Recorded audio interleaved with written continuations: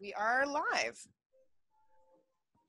Hello, everybody, and welcome. I'm so glad you're here. My name is Kelsey Derringer, and I am the Professional Development Coordinator for Bird Brain Technologies, which means that I get to work with teachers all around the country and all around the world to help them bring creative robotics into their classrooms. But I'm not here by myself. I have a few people here with me today. The first one is Matt. Hey, Matt, how's it going? It's going well, Kelsey. How are you doing? I'm doing well. Matt is not actually a robot. He is our director and producer.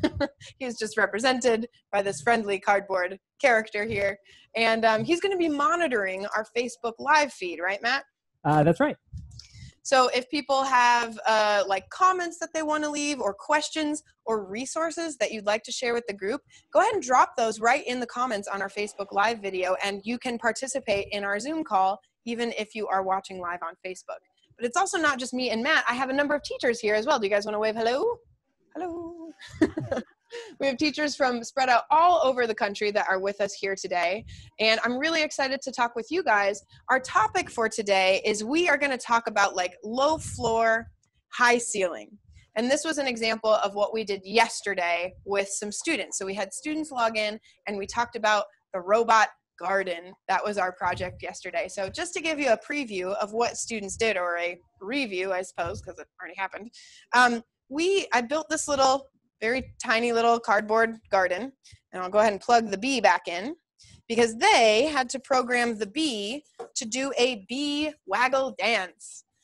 Has anybody heard of the bee waggle dance before? And if so, will you tell us when bees dance it back and forth like that, what are they doing? Does anybody want to unmute themselves and let us know?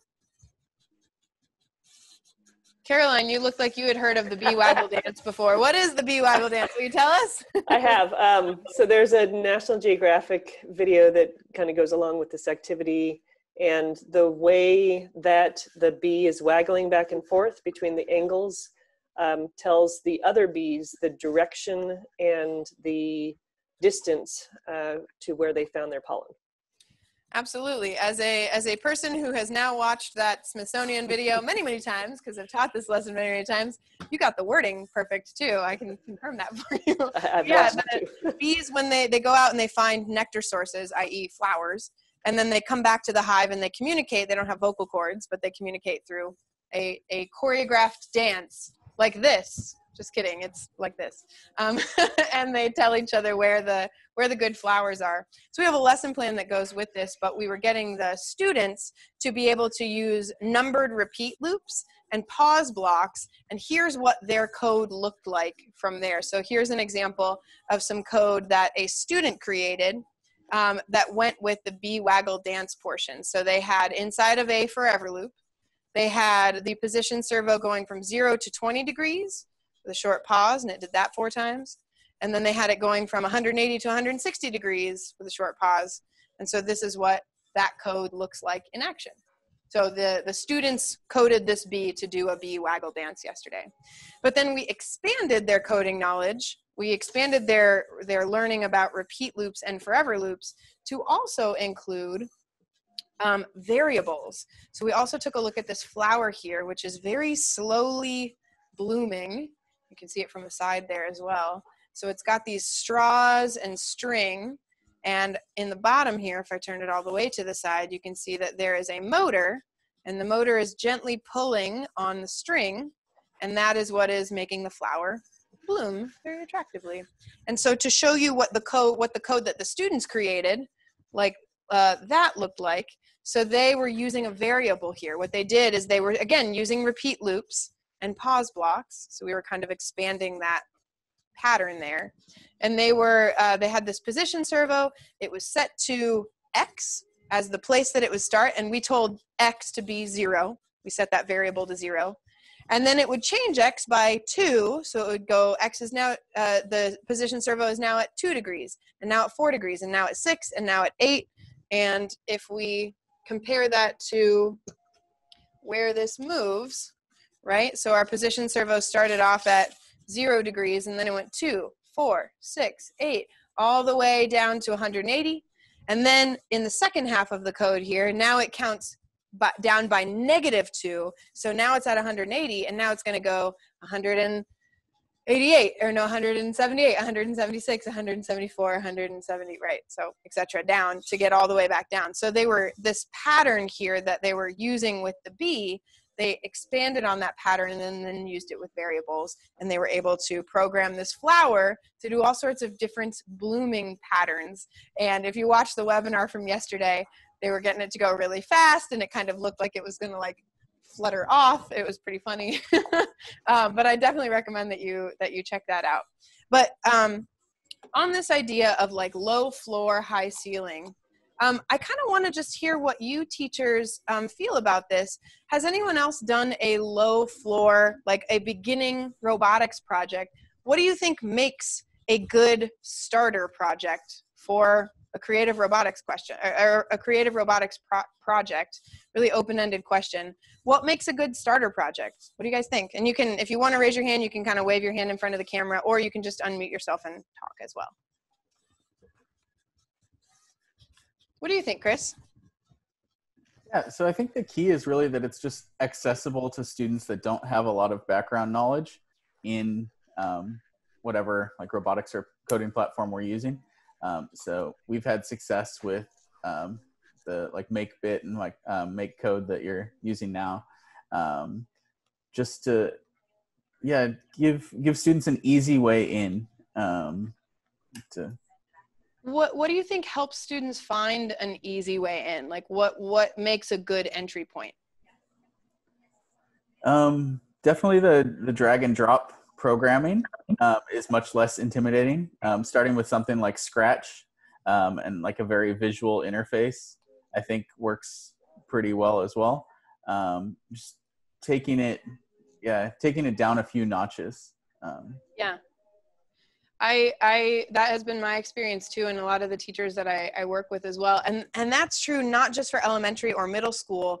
If you've got students who have never coded before starting them off on python is like kind of a lot.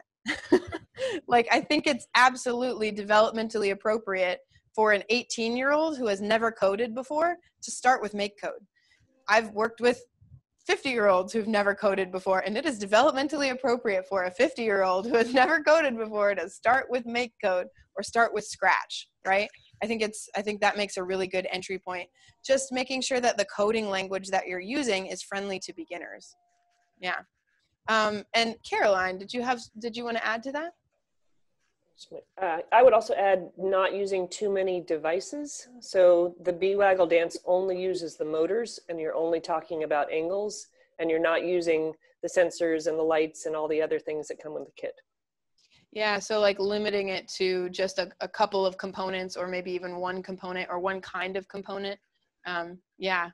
And um, Matt, uh, you had something that you added in the chat. Do you want to unmute yourself and add that?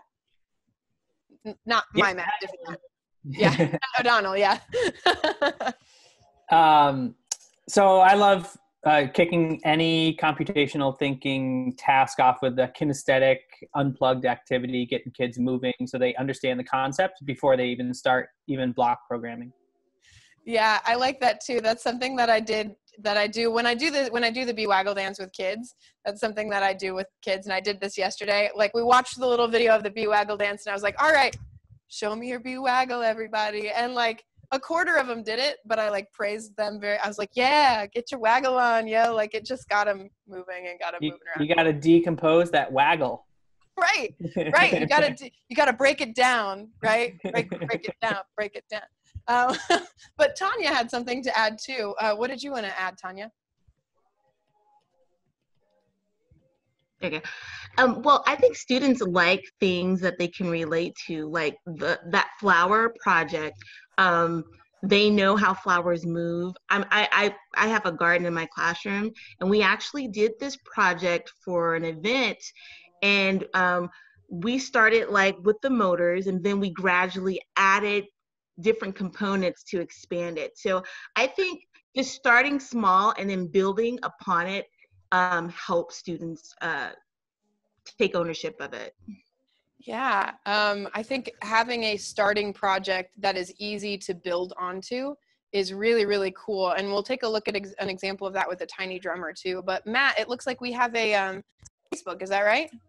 Yeah, that's right. Um, so Sam uh, was suggesting a project that supports divergent thinking, something where students can offer lots of different solutions and easily tinker without messing up a robot. Ah, that's really that is really important. I think for a first project that it's not like picky, that like you can't that it's hard to break, it's hard to mess up. I think a really good first project, it's like you can look at it and be like, oh yeah, that's how it works, right? Like this bee here, like you can just look at this little guy. I'll pop off the top here. Ta-da! It's a motor. I put a motor in a piece of cardboard. I normally don't have the piece of cardboard. I just like have people use a motor and here's the the servo horn. They hot glue right onto the servo horn and then they get it to move back and forth and they're just holding the motor, right? It is impossible to break this with coding or physically like it just wiggles back and forth. I think the tiny drummer is really good at that too because it's like you can't break it. It's very tinkerable as sam said. I love that word. Like kids can tinker with the code. They can tinker with the physicality of it. I think that makes for a great low floor project as well. Um, and nick you had something you wanted to add too. And, and nick i'll say um, if you can unmute yourself your audio is a little bit um, muddy. So if you can speak really clearly that would really help us out.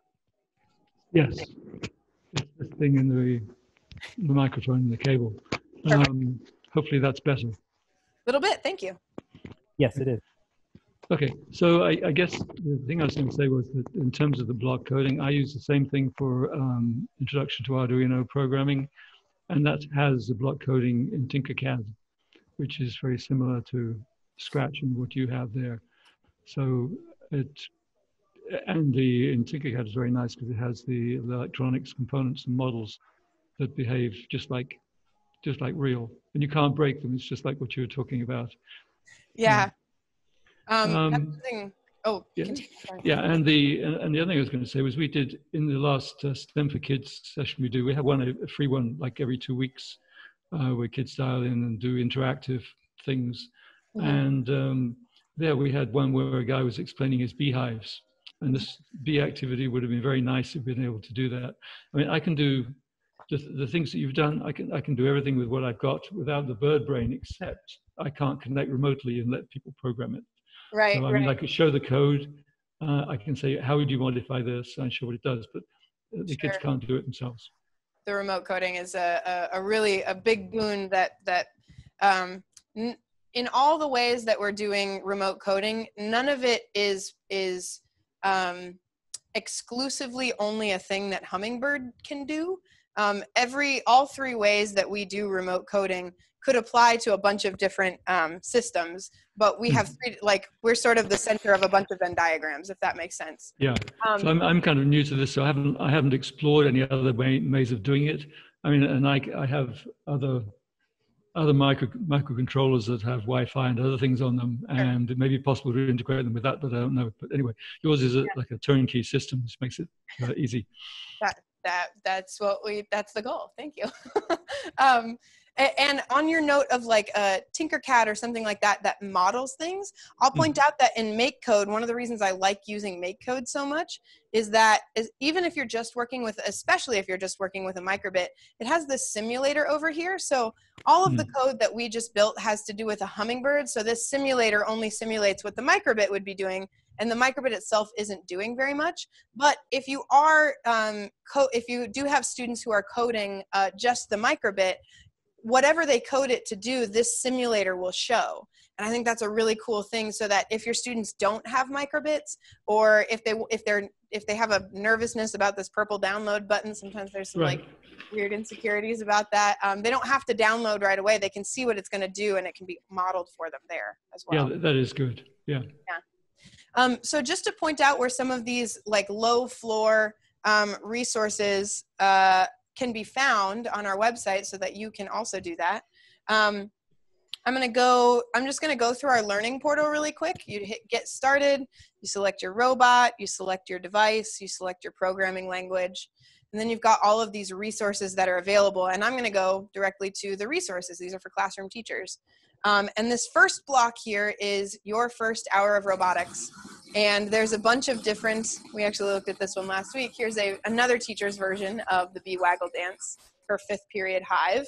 Pretty cool. Um, but there are downloadable lesson plans here. So like this is the Bee Waggle version, I think. Oh no, this one's the template version. So this one um, has a few different options of what you could do. You could do the Bee Waggle project, um, which is here. You could do the Tiny Drummer project, which is here. You could do cutlery characters, where you get them to like make a plastic spoon into a character, or just saying we were doing cutlery characters before Toy Story 4 came out, but you could totally make a Forky. They kind of stole our thing, but it's fine. I'm clearly over it. Um, but that's a really fun, fun project and a fun starting place. Um, Matt, what do you got? Uh, well, Sam was uh, letting us know that it looks like there's going to be a 2020 version of MakeCode coming out very soon. And as somebody who makes the learning materials for Bird Brain Technologies, I'm only sort of happy to hear that. Yay, there's a new version. We should probably, we're going to have to update all of our stuff, huh? All right. Oh, compatibility. Update all of our screenshots. So- Um, go ahead, Nick. Yeah. Yeah, I was going to say, um, I also uh, do go into um, the Maker Faire things as well.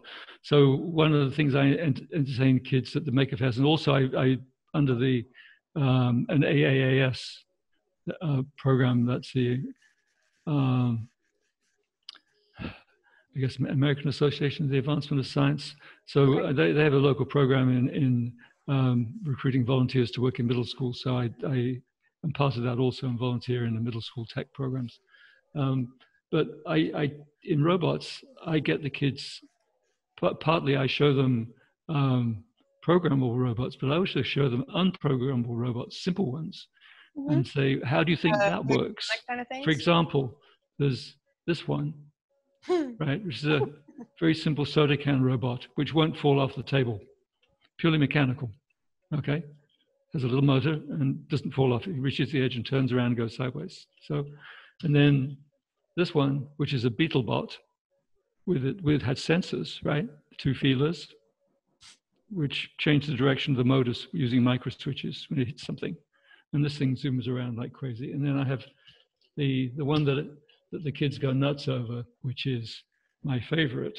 uh, if Sam Yancey's watching, that reminds me of a robot Sam Yancey built recently. So that's awesome, Nick. Those are great. Um, so as we're thinking about like uh, having a good starting point, it sounds like the things that we came up with are if when you're starting kids out on robotics to to make sure there's a nice low floor for them to step up onto. Um, you want to make sure that you have a friendly programming language, so like a block-based language. Um, you want to make sure that your project is uh, that whatever you're asking them to build is really simple, that it maybe just uses a couple components, like what Caroline said, and that also it's approachable. Um, to Tanya's point of like something that looks approachable, like a flower, and to Sam's point from being online, you want to make sure that it's um, that the the build of it is tinkerable, that it's not so particular that they could mess it up really easily. You want them to to find some success with that. Um, so as we're thinking about scaffolding that learning up, actually before we do that, I, uh, Matt, could you share the joining information for Microbit Classroom again in the chat? Um, because we're going to copy that and put this information in the chat.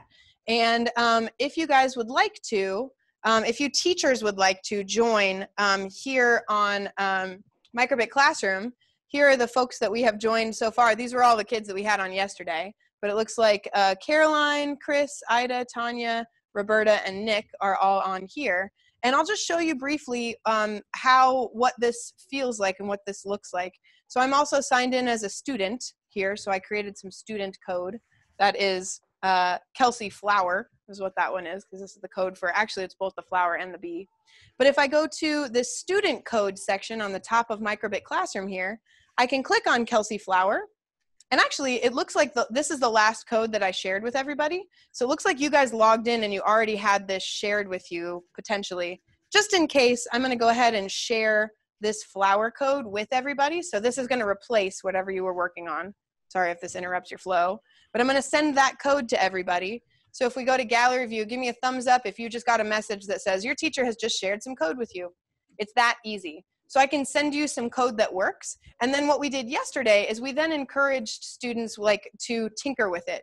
Like, hey, okay, so here's what you might um, here's what you might mess with in the um, in this uh, variable code here, this is the one that's controlling flower, which is in motor port 2, you could change the number, it, it's got a range from 0 to 180 degrees. You could change how many degrees it changes by. Instead of changing by 2 degrees, you could make it change by 4 degrees. But if you do that, you've also got to change the number of times it repeats because now it needs to repeat fewer times for it to, to do its thing, right? So we were encouraging them to play with that, also to play with the amount of wait time. And we had a student do something so perfect yesterday. I, I asked, I was like, all right, we're going to use yours, you know, Lucas, whatever it was, Logan, I think was his name. We're going to use your code, Logan. What did you change? Talk me through it. so they were talking about what they changed. He goes, I just took the pause blocks out. I just wanted to see what would happen. What a perfect thing for a kid to say when they're doing something new, right? I just wanted to see what happened. Okay, let's try it. And we downloaded it what are you guys' predictions as for what happened when we took the pause blocks out? Does anybody want to unmute and venture a guess what happened? Probably just kept going and going. Yeah, the uh, I'm finding I'm I'm gonna see if I can find that video just to show you what it looked like when we took the pause blocks completely out, um, and see his reaction to it. Um, but it's like somewhere. I'm gonna mute it. It's like somewhere in here. You're using Lucas's or Logan's code. Okay, this is another kid's code. There, that's what happens. That's what happens when you take the pause block out. it just moves real, real fast like that, right? And it was it was a hoot because like Logan thought that was hilarious, and he was like, "Yeah, I see why the pause blocks are muted now." I was like, "Do you like how that? Do you like how that's moving, Logan?" And he was like, "I guess. I mean, it's kind of it, it looks kind of dumb." And I was like, yeah, we should probably put those blocks back in. But it was just like, it was great watching students just change some numbers. And sometimes we'd ask them, what do you think is going to happen? And they would say, I don't know, let's just download it and see. And that is so perfect. Um, so uh, something that we're really interested in here is less of the like step by step, do this, do this, do this, but like um, more the sort of like inquiry based model of how can we encourage students to do computer science in an inquiry based way? And i want to open that up to you guys. What are what are your top tips or what are ideas that you have about encouraging students to learn computer science in an inquiry based way? What do you think about that?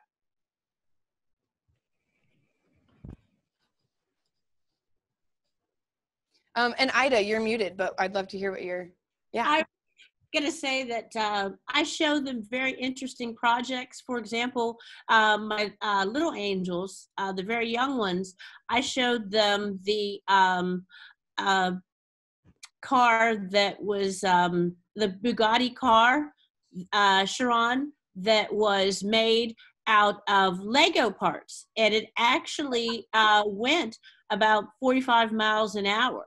So, so I showed them that, and then uh, I asked them a lot of questions about uh, what kinds of uh, things would you need to know to be able to do that? What subjects would you need to know? Uh, if the Bugatti is selling for $3 million, how much do you think that the software engineer is earning? Um, and just, you know, really getting their attention. Um, you know by showing them those things and then having a, a q&a i'm really big on problem solving Mm-hmm. and getting them to um, think critically and and just just giving them all kinds of examples like that and then talking about them and i think that that that um, helps and gets their attention. And i tell them oh and i tell them about the salaries that that software engineers make and roboticists and and uh, you know just get them real excited about the whole area so your method of start of, of inquiry based is like starting with something really cool and then let's brainstorm what we would need to get from where we are to where that is. That's a mm-hmm. that's a great way to to um, do some inquiry based learning. Um, what else? How what else are some ways that um, you are that you teach or that you think we could teach computer science in an inquiry based way? Yeah, Chris. Yeah, I think sometimes it's easy to fall into the trap of like buying something, um, a certain kit or something, and then following the steps to do like the first project, build this, and then the second project, build that. Um, and I think the the key is really instead of starting with a a project and like step by step directions for how to do this um, rather proposing a problem. So like um, the bee needs to pollinate the flower. How can we make that happen. And so like letting the students kind of think through and brainstorm their own project or their own approach to solve that problem um, rather than saying like step one connect the servo to the bee like especially with older kids having them figure out like what pieces would we need to use um, that we have available to make the bee move um, Yeah. so that it can pollinate the flower Just presenting them with the problem rather than presenting them with the solution. exactly. That I, I think that's that's inquiry based learning right? Like here's a problem. I'm not going to show you how it works. So i think sometimes teachers uh, uh, a, a lot of the way that we are taught to learn is like here's an example. Try to recreate this. And what i do when i when i'm teaching the bee waggle i don't i don't show them one like maybe some I, sometimes i'll show them a um, sometimes i'll show them like a, a styrofoam one but especially if it's an open-ended project like robot poetry or robot like um, petting zoo I don't want theirs to look like mine.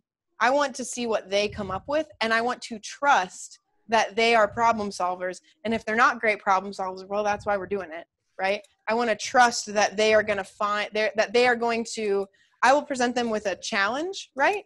But I'm going to trust that they will even hopefully be able to identify the sub problems that will get them to be able to create an answer to that challenge. So when we're thinking about scaffolding up from a beginning project to a more advanced project, I think just presenting them with an open-ended problem is great. Looks like we have a comment coming in um, from Facebook. Is that right, Matt? Yeah. Uh, Daryl from Facebook was suggesting that uh, you use the uh, design thinking process to engage uh, to engage kids in inquiry-based learning. Absolutely. That's something that we are uh, that we use a lot too. I think I have that over here. Nope, different thing. Um, somewhere I have an engineering design process poster, but there's absolutely one on our website. Um, so let me show you where to find that. I'll go back to oops. I'll go back to um, our resources page here. So if I go to resources, there's an awesome um, set of assessment tools here that include the design thinking or engineering design process. So if I go to assessment guides, there's two different ones. There is the computational thinking assessment guide and the engineering design assessment guide. So I'll start with that one since um, our friend on Facebook suggested design. So this right here is the engineering design process, right? Of ask, imagine, or I guess ask, understand, plan, create, improve. That's the that's the steps that we want students to be able to go through. So the way that that fits into this assessment guide, this assessment guide is not a rubric or a checklist or a grading scale or anything like that. It's more um, to help teachers understand what these concepts are. So, like engineering design has been broken into, I think, four skills. The first one is defining the problem, exactly what you were just talking about, Chris. We want students to be able to do that for themselves as well. The second one is like intentional design, which is broken into a couple parts. And then there's innovating, broken into a few parts.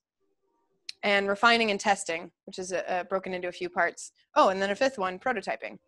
And the sixth one, communication design. I'm very familiar with the CT one, and that only has three parts, sorry.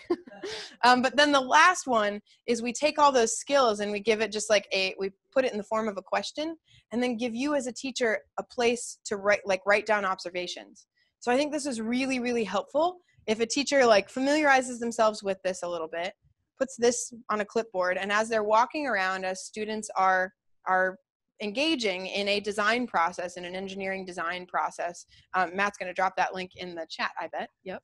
Um, and as as um, they're doing that, you're walking around and going, okay, uh, deliberate the plan, deliberate planning, following a plan, generating multiple solutions. Hey, I just heard this group think about three different ways that they could attach some um, material inside that flower. So I'm going to write um, the the flower group just generated multiple solutions. Or you're walking around and um, trade-off considerations. You hear uh, a group saying we're going to do this and this and this and this and we're going to do all of it in this one project and it's going to be so great. They might need some help considering trade-offs. So maybe you sit down with them and you go well maybe you know thinking about our time we don't have six weeks we have the next two hours to finish this project. So let's think about some trade-offs here. What how is this going to serve the goal? How is that going to serve the goal? How difficult is this? Do we have the materials to finish that so that you're guiding them through that process and you can make a little note? And then might be surprised the next time you go around you might hear them starting to do that in their in their next project so i think that this assess these assessment tools for both engineering design and computational thinking are really useful projects or very useful tools for educators to use when they're trying to foster those habits of mind and those thinking skills um, over the course of a, a, few different projects over a year. Um, so definitely check those out if you haven't yet. Um, so uh, to continue our conversation, we were talking about how to how to start, what makes a good low floor project, how to teach in an inquiry based way, um, and now thinking about how how to like raise the ceiling um, we talk about like low floor, high ceiling. Um, that's a something uh, that Mitch Resnick, um, who who is instrumental in the Scratch project, um, always talks about low floor, high ceiling, and wide walls too. To just like expand that to a third dimension. A good like good teaching is easy to start, hard to master. This is for game design too. Easy to start, hard to master, and can go in a lot of different ways, a lot of different directions. And so I'm I'm really um, I'm always happy to see the different directions teachers take Hummingbird in too. Um, but thinking about raising raising the ceiling and raising the ceiling of what your students could do, um, we took the same we took this concept of like repeat loops and we took that concept and introduced variables. So it's really easy to um, scaffold up the learning and the the computer science that your students are doing um, with a hummingbird. You can scaffold them up, and that's actually something personally I'd like to see more of in the hummingbird teacher community that that they're not just making one hummingbird project that involves like a couple lights and a couple motors and like hey we did a hummingbird project. But like there's such a high ceiling here. You can get so weird if you give your students a chance to do more advanced computer science. You don't have to level off at just lights and motors and sensors. You can really do some advanced things. And there are teachers out there doing wonderful things but i want to encourage teachers to continue that. Um, but there's also opportunities to level up like the building that your students are doing. A great example of this is um, jane sweet. She's an art teacher who works just outside of pittsburgh and she um, originated the moving masterpieces project. And would you pull that up on our projects page matt in the background? Thanks.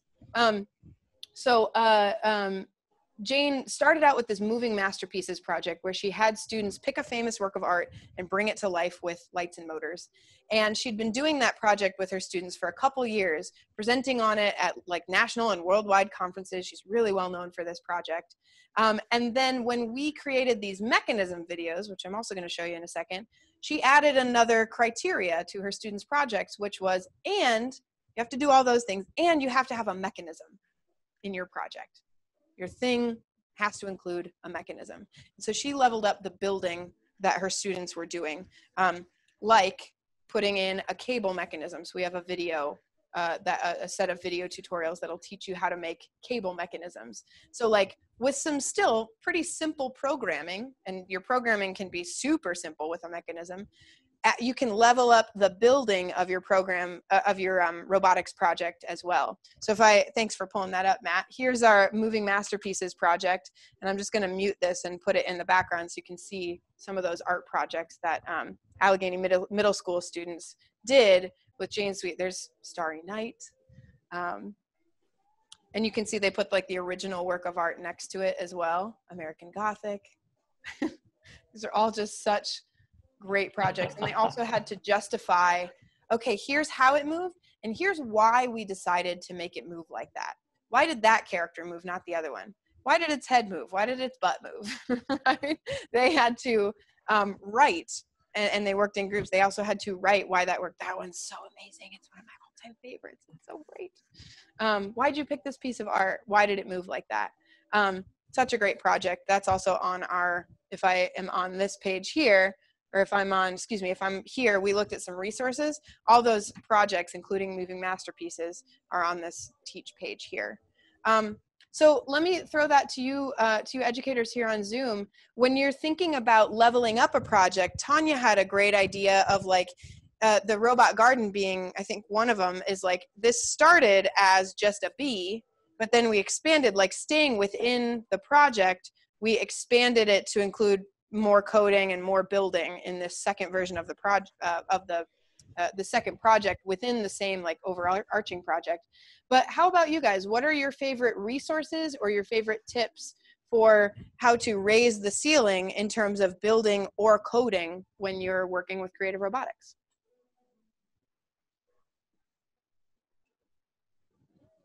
How do you guys encourage students to um, not just do the same program they did before, not just build the same thing they did before, uh, or does it does it require your encouragement to get them to to try new things? yeah, Roberta. Hi. Yeah, so I love to use the human centered design process too. I'm so glad someone brought it up. I think that really helps um, students take more ownership. And I, I find that that's when they really go above and beyond.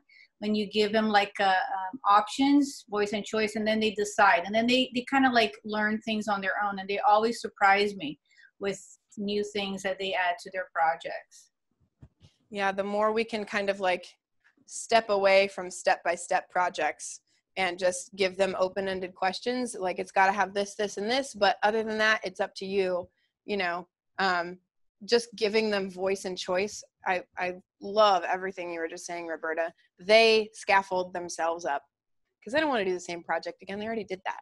They want to maybe it's more artistic this time or maybe it moves differently this time or maybe it does something different in coding. I think the, that that kids tend to ask more and more interesting questions about coding the more they do it. They see that like i can get the light to blink. Can i get it to blink faster when i get closer? I don't know but the answer is usually yeah with math like we can solve that problem with some math and some logic and like what what a great reason to need math and logic is that a kid asks, Can my robot do this? Yeah, with math. Uh, a much more authentic way to bring that into the conversation, I think. Um, yeah, Matt, looks like we have a, a comment coming in. Uh, yeah, we actually have a couple comments coming oh. in. Uh, Daryl was saying that uh, leveling up can involve using uh, sensors for interactivity. And then Sam was saying that you could start with what students want to build then investigate what mechanisms could fit in those designs. So similar to what Jane Sweet was doing. Yeah. So um, uh, Daryl, uh, both a both a building and a coding leveling up from just using outputs like lights and motors, adding a sensor to it, and I think that that that can really go with what Roberta was saying too. Human-centered design. One of my favorite ways that people do the robot petting zoo project is um, how, how here's an animal, whether it's a puppy or a scorpion how would someone interact with this? And what would it do when they actually interact with it? Is this a scorpion? Does the scorpion wag its tail when you pet it? Wag seems like the wrong verb there right? But like does the puppy bite you? I don't know it's your puppy right? So like adding a sensor in in a human centered design uh, way of like how would someone interact with this animal and what would it do when you when you do that? I think that's a that's a great way to bring sensors into a project. Um, and then what uh, what sam was saying and what i know he's working on this summer is he's working on familiarizing himself with all of the mechanism builds that we have on our website so that when students have a project and they go all right i want the wings to flap like this and i want the tongue to come out like this he's like yes. And you can do that with a mechanism. So um, I'm just going to go back briefly um, to show people where to find this. So we looked at stuff on the resources page, on the teach page. Hey, we have a whole page full of building resources. If I click on that, the very top thing on there, these are a bunch of mechanisms. So for example, the cable system, this is a 13 step, like all these videos are really, really short. They're like maybe 30 seconds um, and we go through and we tell you like step two is like here's the materials you're going to need. We go through and we show you all right you're going to need to connect a string to a, um, a servo horn which is exactly what we did in here right? You can see the string is connected onto that servo horn there. There we go. That's how i should turn that. So there's the string on the servo horn there. And um, we've got uh, here we go. Um, it's like pulling up and down. And so this is the same basic cable mechanism. It's just um, powering four strings instead of one, which is what it's doing in uh, this tutorial here, right? Um, this is just powering one. But all of these different mechanisms Um, they all involve like maybe eight, like one motor, I think, but you could also make them more complicated. But what Sam is saying is uh, kind of both in response to like inquiry based and leveling up and and finding a higher ceiling on what your um, students are able to do. What do you want to build, kid? This mechanism could help, and like you as a teacher. Um, but uh, you can point them towards their resources here. You don't need to know everything about how to do this. You can say, hey, that piston mechanism could be great for you. Why don't you watch that tutorial and take yourself through it? Um, and uh, let's see, was it Nick? Nick had a really interesting question. Do you want to uh, read your question out that you typed in the chat, Nick? I think it could be a great way to, to a great thing to end on. Uh, sure. So you were talking about trying to encourage the kids to innovate and to uh, get my microphone back, uh, try to encourage the kids to innovate and try different ways of doing things. But how do you give credit to failure in that they may try things that are um, like overreaching a bit or things that don't work, but they're still learning from that. So if, if the object is to make them learn, they can learn by failing just as well as succeeding, even if they don't uh, get there. So, so what do you do with that? How do you um, credit them with doing something more difficult but uh, they don't end up with this nice working project at the end of the activity. I mean, they have to be rewarded for, do, for doing it and not feel bad about a failure. But um, I guess I'm, I'm, not being a professional teacher in a school setting.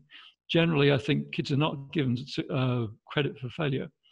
Yeah, I, I, mean, I think the school system is set up so that like you fail a test, hey, you failed the test. You don't get to like redo it. Sometimes you do, but that's like, mm. whoa, that's really progressive. Retake the test crazy um, but like uh, students aren't necessarily set up to learn well from failure um, but let me put that to you teachers um, how do you how do you help your students and we've probably only got time for maybe one answer for this but like how do you help your students learn from failure because they have to Does anyone want to give that one just just your personal teacher philosophy on how do you help students learn from failure. Yeah, Roberta. Yeah, I, I love failure in design failures and opportunities. So I even have a little book, and sometimes we had leaks in the lab. We made umbrellas. So I actually oh. give students an epic fail award, and they kind of like fight for that. And I learned that from the Entertainment Technology Center in, in Carnegie Mellon, and they they win an award when they really push themselves for trying something super super hard, even if the project doesn't work. Yeah. I say something more with that. that in the uh, local school, they're doing some online teaching, and one of the latest sessions, because they're finished now, was to um, the teacher showed them um, some movies of epic failures. Uh, the, the, one of the famous ones is the the bridge swaying in the wind, uh, and then yeah. a couple of other ones. And had had to discuss why they think that failed. What else might they do? And this yeah. this got into it interestingly. And what else I think is really smart about um, re, uh, uh, Roberta's um, method there is like it's not rewarding all little failures. Like we don't want to encourage our students to like, you know, if it's just like every time you fail, you get a piece of candy. I'll fail for candy, you know. But like rewarding epic failures in, in the sense that like you tried so hard you went so hard for this and it so didn't work and i'm so proud of you. Like i think rewarding that kind of failure you know it when you see it right? Um, and and everybody else does too. So like using your judgment as a teacher um, to foster the kind of classroom experience and the kind of classroom climate that you want i think that's a really good way to do it. Not not all failures are equal and the ambitious ones are the ones that we really want to want to reward um, we have just a couple minutes left before we'll need to end our session. Um, looks like we had one other comment come in from Facebook, and then uh, we'll we'll take that comment, and then we'll probably end our stream there. But you teachers who are here on Zoom, feel free to hang out for a couple extra minutes if you'd like. But Matt, what is our comment from Facebook? Uh, well, Denise from Facebook says fail equals the first attempt in learning. And I think that's a great note to end on. Yeah. Uh, and uh, Roberta said that uh, their motto in her classroom is process over pretty. And, um, and Ida also said that she doesn't call them failures, she calls them design improvements. That's Orwellian, and I dig it. Um, um, so I want to encourage everybody to, whether you are teaching with Hummingbird or have questions about Hummingbird, whether you're doing remote robotics and teaching remotely or excited to get back in your classroom in the fall, please do connect with us on social media. Follow us on Twitter and Instagram and Facebook, and uh, tag us in any posts that you that you make that are relevant to what we're up to, because we will retweet you and we will repost you, and hopefully connect you to lots of great educators out there solving the same problems that you are working on. Um, if you have any questions, be sure to email us info at birdbraintechnologies.com. Um, those can be questions about um, ordering. Hey, I'm doing a summer program and I want 30 kids to join. Can you get me some special pricing? Anything like that, reach out to us via email. And also, if you are looking for ways to run your summer camp online, you had a great plan for how you were going to do this, and now it's Corona canceled you should check us out on this part of our website, birdbraintechnologies.com slash robotics at home. There you're going to find all of our upcoming live webinars for students and for teachers. We do one student one and one teacher one every week. And up till now, they've been on Thursdays and Fridays, but we're switching that up over the next couple weeks. So if you haven't been able to make it live in the past, check out our upcoming dates and times um, because you may be able to make it. And if you've been coming consistently, check our dates and times because you should check our dates and times. They're changing. the times they are changing means a different thing, but applies here. Um, and uh, you can also find ordering information on there. You can find courses so that you or your students can teach yourselves Hummingbird with tablets or um, computers. Also, some great project outlines. Um, and finally, you can find instructions on how to do robotics at home, how to set up something called NetsBlox, um, and also, um, I think we are going to soon link to, we have a webinar on YouTube that goes over three different ways to do ro- re- remote robotics with Ma- Microsoft MakeCode, Zoom remote coding, and um, NetsBlox. That's going to be linked on there uh, soon as well. So check that out if you're interested in learning how to do robotics at home. So from all of us at BirdBrain, thank you all so much for joining us today. Thank you teachers who were here on Zoom, and we will see you next week. Bye. Thank you so much for joining us today. We can't wait to see what you make on social media. On Twitter, Instagram, and Facebook, you can tag at BirdBrainTech or hashtag HummingbirdKit, or you can even tag me. If you have any questions, be sure to email us info at birdbraintechnologies.com. We can answer questions about purchasing, about learning, about teaching, and about professional development. If you haven't been there yet, be sure to visit our Robotics at Home page. There, you can purchase a kit for yourself, learn how to use it, and even join one of our upcoming webinars. Until we see you in class, thanks for watching from everyone at BirdBrain Technologies.